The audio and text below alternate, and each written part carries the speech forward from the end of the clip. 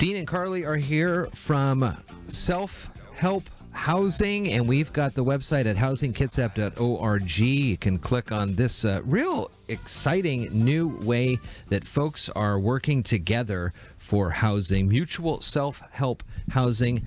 Again, housingkitsap.org, and then housing services. You see the drop down there, mutual self help housing. Dean Carli, thank you so much for coming on the air with us here today. And uh, this is a kind of a cool deal, and it's happening in Shelton as well. We'll tell you where in just a little bit. But how did this start? And uh, tell us a little bit about this.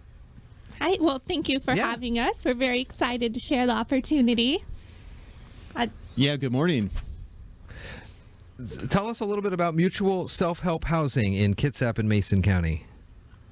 Yeah. So we uh, we have the opportunity to uh, provide uh, affordable housing program here in Shelton. It's uh, just off of North Cliff on Yeah. Jones Street.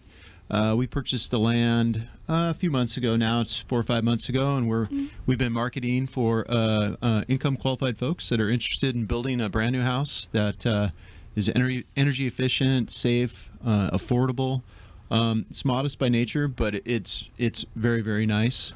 I see a bunch of floor plans on the North North Cliff Park, and it goes from 1,100, uh, almost 1,200 square feet, up to near 1,400 square feet, with a variety of sizes of bedrooms and bathrooms and, and garages. We talk a lot about uh, Habitat for Humanity here in Mason County, and the way that those folks who become qualified for those homes have to put in a certain amount of sweat equity back into those uh, homes that are being built for them. And this is kind of the same deal with with this service. Yeah, very similar. So if they have, if people haven't heard of self-help housing before, which is a nationwide program, we just facilitate it here locally. Um, it's a government loan program uh, through USDA. Uh, then we always say, "Have you heard about Habitat?" We're similar to that, Sure. um, where our home buyers do build the houses themselves. Uh, our the way our program works is that they build in groups of homes. So you and seven of your neighbors will build all eight houses together. Uh, they all go up at the same time, and uh, once they're all finished, y'all move in and you all own your really homes. cool. Yeah. I can't even build a Lego house, so how do I do this? yeah, You, uh, who's, who's the skilled workers here on these ones? So we have uh, our program is grant funded, right? And so we have a uh, supervisor that's on site that helps train the families, and so coordinates all construction, whether subcontractor or family labor. Um, Saturday meeting, everybody has a kind of a week plan. Um, okay, we're you know framing on whatever lot 10 is today, and maybe we're doing trusses on lot 12, and so on. Um, uh, that person will provide all of the, um, you know, all the teaching, all the safety stuff, things like that, and then uh, we'll create groups and then go build for the day, and then uh, they're on on site 40 hours a week. wow, that's really a cool like this a lot. model. Yeah, so you really, we really emphasize that there's no experience necessary. I mean, we joke, but you don't have to know how to read a tape measure. You don't have to know what a hammer is. Good, I We'll don't know any of you those things. everything. That's perfect. It'd be perfect for you. yeah, we start with the basics. Really? Yeah. Sure. That's what do you get uh, a sense of nationwide when you hear about these communities that go up about the bonds that are built within that neighborhood? I mean, if you are working blood, sweat, and tears with seven of your now neighbors on a neighborhood, I'd imagine that helps in a whole host of other things where it comes to, you know, just being mindful of your neighbors, knowing their names, understanding how a neighborhood watch might end up working out, things like that. It's totally true. So yeah, for sure. I mean, these these these folks are going to spend 10 months, maybe 12. Uh, uh, you know, building their home. They're going to spend every Saturday together. They're going to work, you know, nights, rain, sunshine, all of those things. And um, it is a community. I mean, in in not just between you know the group of homes, but uh, that in that particular build group, but there's going to be two in the case of Northcliffe. Um, they even look out after everyone, you know. Um, there's a lot of times we'll talk, we'll hear about the community, you know, Fourth of July parties. And, Sure. And um, it's much more than just driving home and opening up your garage door and going in and closing. I mean, uh, this is a community. So you mentioned 10 to 12 months. What is is that the timeline on these builds because it's just the group of folks that will be working on it, so it is kind of a longer timeline. It, it is, yeah. Uh, the the mutual part of self help is they all share labor, Yeah. um, and so uh, because we're working with novice folks, it does take a little bit longer. Um, but you know, it is um, very well built, and of course, you know, there's codes and all these things. But our supervisors help manage the the quality and and the progress. So at the end of the day, it's a very very good home. And in this Shelton neighborhood off Northcliffe, we we were just talking that it might be a little bit of a quicker build for the group because it is smaller than our typical 10 house group. Um, the floor plans have been refined, so they are going to be a little bit more streamlined in the build process.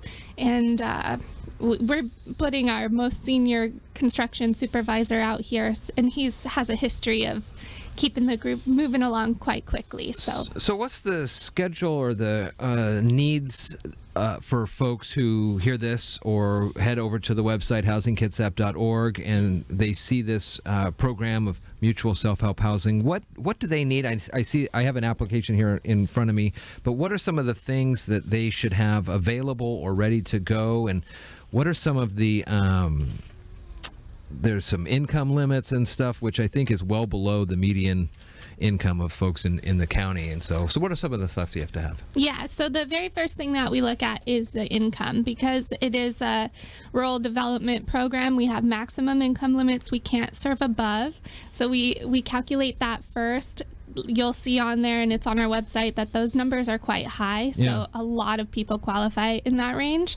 Um, we, it is also a mortgage loan that you earn in the end to pay for the cost of construction. So we want to make sure that people have enough income to make affordable payments for that mortgage. Um, and then we take a look at your credit history to see if there is any, you know, it just has to be decent, nothing crazy, but just make sure that it isn't a huge liability for the for the loan. Uh, they just want to see that it's you know not too many missed payments, not too many derogatory accounts. Uh, of course, when we look at that, if we do find anything, we guide you through the process of, you know, m- maybe look at this or take care of that. Sure. And when you're ready, then we'll move forward. Because you want that you, you want to do everything you can to get these folks in in a have a home. Absolutely. Yeah. Make, make one of these Yeah. generational changes. How many homes have been built up in the Kitsap County area? Eh, Or how many Oh. neighborhoods? Is, is it a fair amount? Yeah. Uh, Mm-hmm. tons. So this program is actually operated um, in Kitsap County since the 70s, Oh, wow. Wow. Uh, Mm-hmm. You know, to be honest, we don't have a definitive number, but it's over 1,500. Wow. Mm-hmm. And the whole nationwide here, if this is right, 50 years, 50,000 homes. Yeah, and that was a few years ago, so we're about 55,000 now. That's This is a great. really fascinating thing. There's about 90 grantees throughout the nation. What made you think about finding the North Cliff area and coming down to Mason County?